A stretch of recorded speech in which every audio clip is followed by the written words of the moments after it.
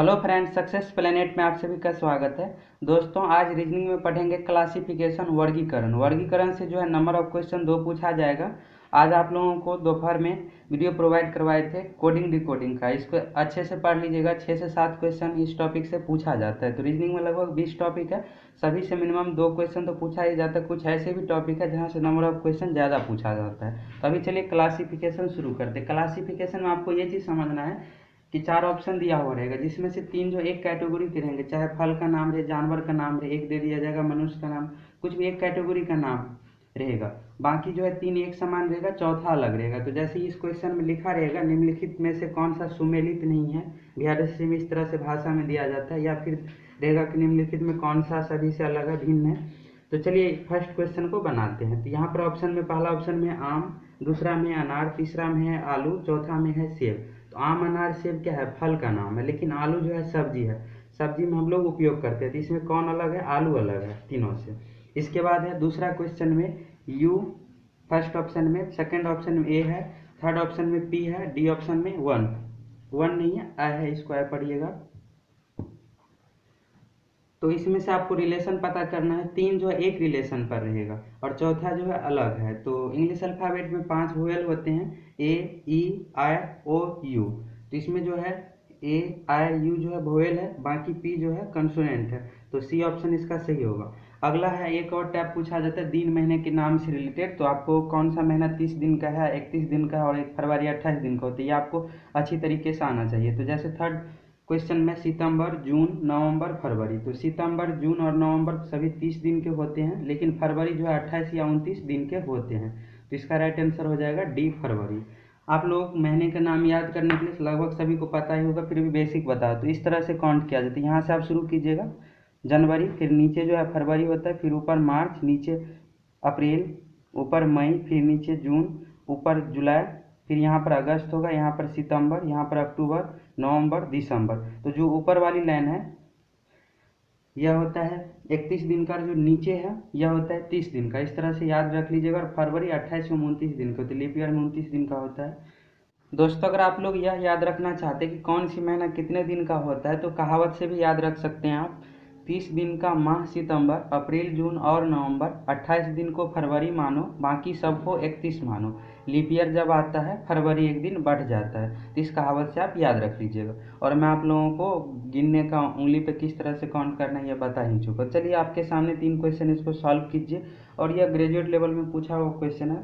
Graduate level 2016 में mains में यह पूछा हुआ सभी क्वेश्चन है। तो आपके सामने चौथा क्वेश्चन है। पहले सभी खुद से ट्राई कीजिए, मैं इसको बनाता हूँ। तो यहाँ पर है तीन, सात, पाँच। नौ, इसमें से कौन सी विषम है? क्वेश्चन इस तरह से लिखा हुआ था यह सभी एक ही जगह दिया हुआ रहेगा। मैं पढ़ देता हूँ। एग्ज़ाम में किस तरह से लिखा रहेगा? निम्नलिखित प्रत्येक प्रश्न में दिए गए विकल्पों विकल्पों में से विषम शब्द अक्षर संख्या को चुनिए। तीन, चार क्वेश्चन एक ही जगह दिया हुआ रहता है। एक, दो क्वेश्चन अलग से यानी पाँच क्वेश्चन टोटल इनसे पूछा जाएगा। तो इसमें से आपको बताना है कौन सा अलग है। तो तीन, पाँच, सात, नौ जो है, सभी विषम संख्या है। तो यह तो पैटर्न यहाँ पर फॉलो नहीं हो रहा। अब आपको देखना अभाज्य संख्या। तो अभाज्य संख्या कौन कौन है? तो दो, तीन, पाँच, सात। नौ जो अभाज्य संख्या नहीं है, सात के बाद होता है ग्यारह, तेरह, सत्रह, उन्नीस, तेईस, उनतीस, इकतीस, सैंतीस, इस तरह से होता है तैंतालीस। तो ये सभी अभाज्य संख्या, कल नंबर सिस्टम अभाज्य संख्या के बारे में पूरे डिटेल से पढ़ाऊँगा तो सबसे छोटी अभाज्य संख्या दो है और एकमात्र सम अभाज्य संख्या तो नौ जो है अभाज्य संख्या नहीं है, यह क्योंकि तीन से विभाजित है तो इसका राइट आंसर नौ होगा। चलिए अब इसमें से बताइए कौन सा होगा पांचवा में। छः सौ पच्चीस है, एक हज़ार चौबीस, तेरह सौ इकतीस और डी में नौ सौ है।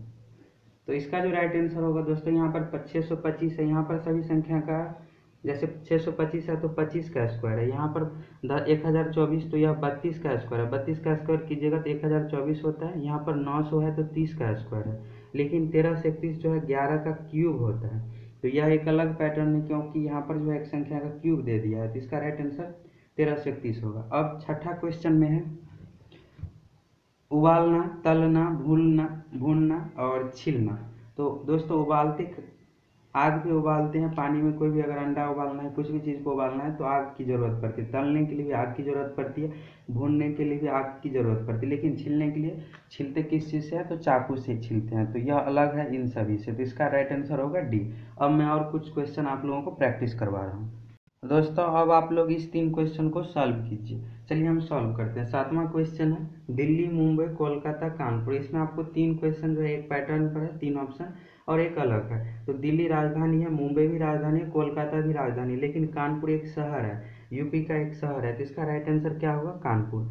इसी तरह आपको देश का नाम दिया हो रहेगा, कोई एक शहर का नाम दे दिया है आपको एक पैटर्न पता रख, करना है कि कौन सा पैटर्न फॉलो हो रहा है। तीन एक पैटर्न पे है, चौथा उनसे अलग होगा। अब यहाँ पर है सोना, पारा, चांदी एल्युमिनियम तो ये सभी तो तत्व है, लेकिन एक और कंडीशन है। ये सभी धातु भी है, लेकिन सोना, चांदी एल्युमिनियम ये सभी ठोस होते हैं, लेकिन पारा जो है एक द्रव धातु है। इसका राइट आंसर पारा होगा। एक और चीज़ याद रखिएगा, पारा जो है कमरे के ताप पर द्रव अवस्था में पाया जाता है और धातु है। ब्रोमीन जो है अधातु है, जो कमरे के ताप पर द्रव अवस्था में पाया जाता है। इन दोनों से रिलेटेड इसमें आपसे पूछा जाएगा वर्गीकरण करने के लिए। अब इसको सॉल्व कीजिए सभी स्टूडेंट यहाँ जो पैटर्न फॉलो हुआ है नौवे क्वेश्चन में, यह आपको सबसे पहले पता लगाना है। तो सभी स्टूडेंट सॉल्व कीजिए। चलिए हम इसको सॉल्व कर रहे हैं। तो यहाँ पर जैसे फ़र्स्ट ऑप्शन में देख रहे हैं तो जी ई सी है यानी कि इस साइड से अगर आप, अगर यही लेटर को लेते हैं राइट साइड से तो आप सहूलियत है ए के बाद सी है, इसके बाद ई है, इसके बाद जी है। यहाँ भी पी आर टी भी है। इसके बाद यहाँ पर एम ओ क्यू एस यहाँ भी डब्ल्यू एक्स वाई तो ए के बाद सी है तो यानी एक लेटर छोड़ के लिया गया बी को छोड़ दिया गया। इसी तरह यहाँ पर भी सी के बाद क्या किया गया है?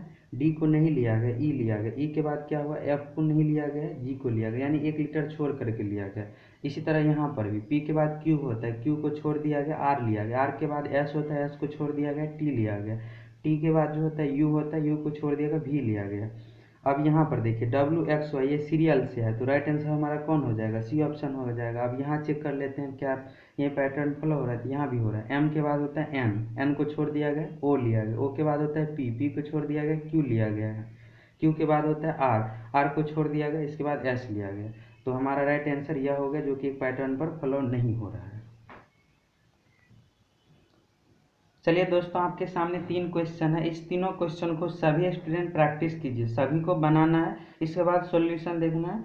ये नया टाइप का क्वेश्चन है। चलिए अब इसको हम सॉल्व करते हैं। तो इसमें फ़र्स्ट जैसे दस नंबर का क्वेश्चन है, चार सौ बाईस, सात सौ सोलह, नौ सौ अट्ठाईस, सात सौ चौंतीस। इसमें कौन सी संख्या सब भिन्न है, अलग आपको बताना है। तो यहाँ पर जो पैटर्न फॉलो हुआ है, इस तरह का पैटर्न फॉलो हुआ है।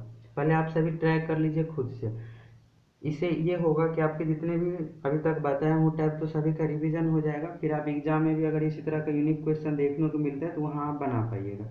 चलिए इसको बनाता हूँ। यहाँ पर क्या किया गया है? यहाँ पर दो दो है। इस दोनों को क्या किया गया? लास्ट डिजिट को जोड़ दिया गया और इसके बराबर होना चाहिए। तो दो में दो जोड़िएगा, चार होता है। यहाँ पर भी इसी तरह से किया गया है। छः प्लस एक को जोड़ा गया है, सात हो रहा है। यहाँ पर भी अगर आप तीन में चार को जोड़िएगा तो सात होता है। यहाँ पर अगर आप दो में आठ को जोड़िएगा, दस होता है। तो ये पैटर्न फॉलो नहीं हो रहा। आपको किसी भी टाइप का दे दिया जाएगा। रीजनिंग में कुछ भी दिया जा सकता है और आपको पता करना है कि इसमें कौन सा पैटर्न फॉलो हो रहा है। यही तो रीजनिंग है। चलिए, ग्यारह नंबर को आप सॉल्व कीजिए।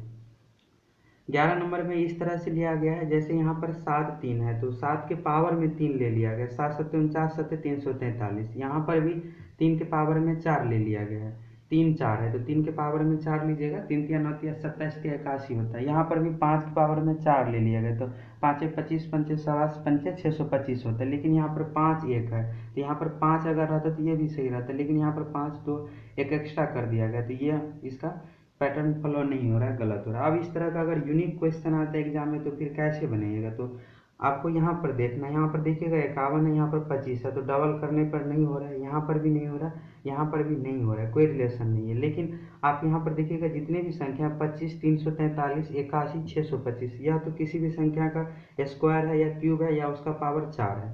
तो फिर आपको यहाँ से देखना है, पाँच है तो पाँच और छः सौ पच्चीस में क्या रिलेशन है? तो पाँच का पावर चार करने पर छः सौ पच्चीस हो रहा है। एक पैटर्न जैसे ही फॉलो हुआ दूसरा में लागू कर दीजिए। तीन का पावर चार रखिएगा, इक्यासी होगा फिर यहाँ पर भी इसी तरह से रख दीजिए। तो आपको अच्छे तरीके से क्यूब, स्क्वायर सारा कुछ याद रहेगा तो पर ही आप बना पाइएगा। जब चलिए अब अगला क्वेश्चन इसको प्रैक्टिस कीजिए, बनाइए। अगला क्वेश्चन में जो पैटर्न फॉलो हुआ है, क्या किया गया है इसमें? लास्ट पे दो डिजिट है, उसको गुना करके इतना के बराबर वैल्यू रखा गया। जैसे यहाँ पर तीन नौ है, तीन में अगर आप नौ से गुना कीजिएगा, सत्ताईस होता है। तो यह पैटर्न फॉलो हो रहा है। यहाँ पर अगर आप नौ में छः से गुना कीजिएगा, चौवन होगा। यहाँ पर अगर आप नौ में आठ से गुना कीजिएगा, बहत्तर होता है, जो कि गलत पैटर्न है। तो इसका राइट आंसर ये हो जाएगा। अब यहाँ पर आप छः में सात से गुना कीजिएगा, बयालीस होता है। यह भी पैटर्न फॉलो हो रहा है। तो इसका आंसर बी ऑप्शन हो गया। अब मैं आप लोगों को और कुछ क्वेश्चन प्रैक्टिस करवा देता हूँ। अब दोस्तों, आकृति से रिलेटेड क्वेश्चन दिया हो। इसमें से आपको बताना है कि कौन सा अलग है। चार में से तीन एक पैटर्न पर है, चौथा अलग है। तो चलिए फ़र्स्ट क्वेश्चन को सॉल्व करते हैं। तो यहाँ पर आप देखिएगा, सभी जगह एक चतुर्भुज है, इसके अंदर जो है तीन पॉइंट है, बिंदु है। तो यहाँ पर देखिएगा, आप दो ऊपर में है, दो ऊपर में एक नीचे में है। यहाँ भी दो ऊपर में एक नीचे में यहाँ पर दो ऊपर में एक नीचे में लेकिन यहाँ पर क्या किया गया एक बिंदु को ऊपर कर दिया गया, दो को नीचे, जो कि ये अलग है। तो यह डी आंसर राइट हो गया इसका। अब इसमें आपको बताना है तो यहाँ पर विभिन्न आकृति है, यहाँ पर त्रिभुज है, यहाँ पर इलिप्स है, यहाँ पर सर्किल है, यहाँ पर चतुर्भुज है। इसमें दो बिंदु है, इसमें भी दो बिंदु है, इसमें एक बिंदु है, यहाँ पर दो बिंदु है। तो इसमें एक ही बिंदु लिया गया एक आकृति के अंदर तो यह सभी से अलग है। तो हो गया। इसी में दोस्तों एक और टाइप का पूछा जाता है, प्रधानमंत्री राष्ट्रपति का सीरियल नंबर। आपसे पूछा जाएगा कि कौन सा नहीं है, अलग है तो तीन राष्ट्रपति का नाम रहेगा, जो कि भूतपूर्व राष्ट्रपति है। एक प्रधानमंत्री का नाम दे दिया जाएगा। इसके बाद वैज्ञानिक उपकरण जैसे बैरोमीटर का यूज़ किस तरह से करते हैं, हाइग्रोमीटर सभी के सामने दिया रहेगा। तो आपके साइंस से रिलेटेड भी क्वेश्चन इसमें पूछा जाता है। तो चलिए वो सभी टॉपिक साइंस में करवा ही दूँगा और मनाने का नियम मैं आप लोगों को बता ही चुका हूँ। अब कल जो पढ़ाएँगे डायरेक्शन पढ़ाएँगे डायरेक्शन से चार क्वेश्चन तक पूछा जाता है। तो अच्छी तरीके से उसको पूरे डिटेल से पढ़ाएँगे। धन्यवाद दोस्तों।